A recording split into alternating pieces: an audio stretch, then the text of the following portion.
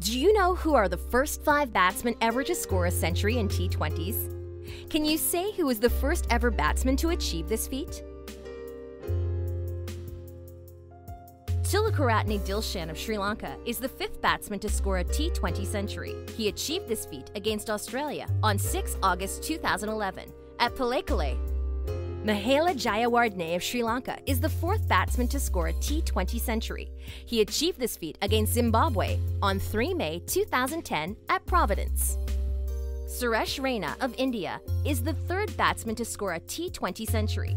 He achieved this feat against South Africa on 2 May 2010 at Gros Islet.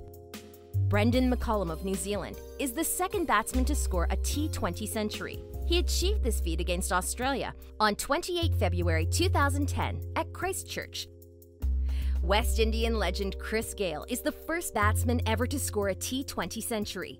He achieved this feat against South Africa on 11 September 2007 at Johannesburg.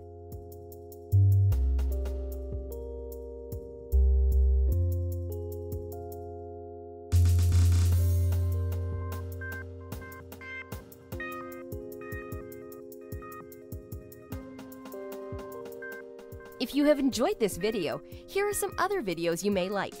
If you think our videos deserve more views, subscribers, then help us by spreading the words and making them viral among cricket fans.